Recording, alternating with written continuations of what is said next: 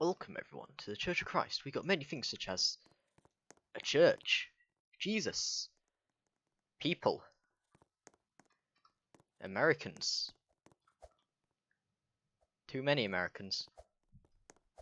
We've got the back rooms over this way, where when you enter you don't come out because the, the priest does some weird stuff to you.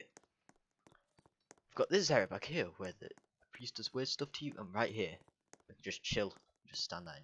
You can just become Vietnamese if you stand in here.